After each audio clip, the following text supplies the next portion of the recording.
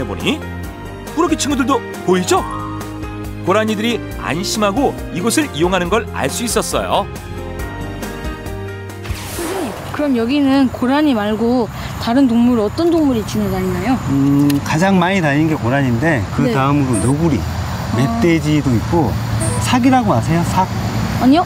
어, 우리나라에는 네. 야생동물들이 많긴 하지만 또 이렇게 곧 그 멸종될 위기에 놓여 있는 동물들도 많이 있어요. 네. 삭 같은 경우에는 고양이하고 비슷하게 생겼는데 음, 우리나라 멸종위기 2급으로 지정이 되어, 돼 있어가지고 보호를 받- 지금 받고 있죠. 그러니까 삭 같은 경우에도 가- 많지는 않지만 간혹가다 촬영이 되기도 합니다. 고라니뿐만이 아니에요. 멸종위기 야생동물 2급으로 지정된 고양이과 동물 살은 물론 너구리, 족제비 등 다양한 야생동물들이 이 생태 통로를 함께 이용하고 있었어요.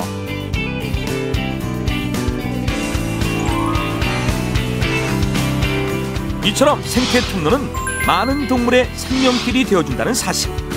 그래서 만들 때도 신경을 써서 잘 만드는 것이 중요하답니다.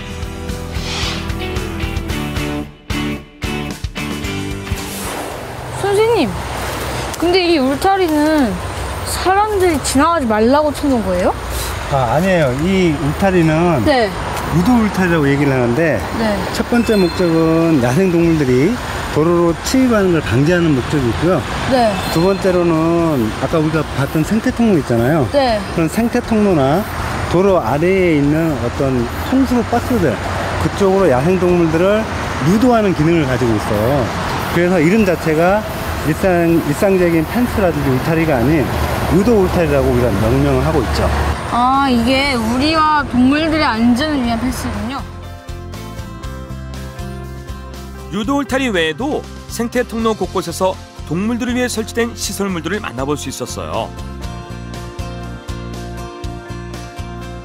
부족한 먹이를 공급해주는 먹이 공급대. 곤충과 양서류들이 안전하게 몸을 숨길 수 있도록 만들어 놓은 돌 무더기.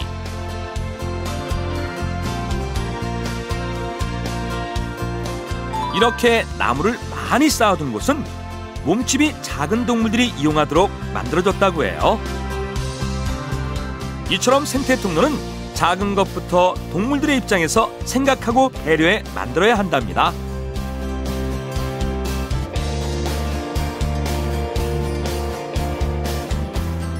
선생님, 그럼 이 생태 통로를 많이 만들어야겠네요? 아 물론이죠. 지금 이 육교형 같은 생태 통로는 네. 우리들이 지나가다가 머리 위에 있으니까 많이 볼 수 있잖아요. 네.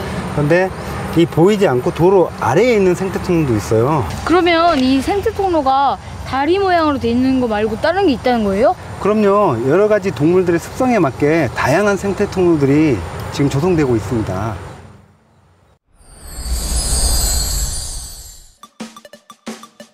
다리 모양으로 생긴 생태 통로 외에 또 다른 모습의 생태 통로가 있다?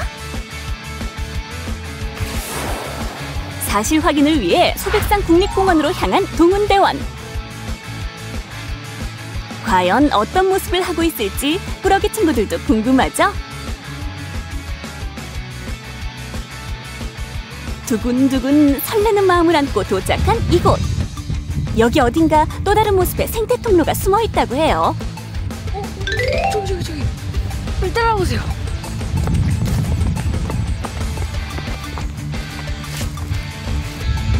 여기 야생동물 이동 통로가 있는 것 같아요. 어딨지? 음, 일단 길 위에는 없는 듯한데. 여긴가? 동운대원 어디 있는지 알겠어요? 아무래도 여기 생태 통로가 없는 것 같은데요?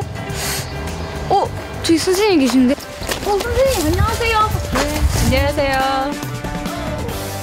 선생님, 또 다른 생태 통로를 만나보고 싶어요.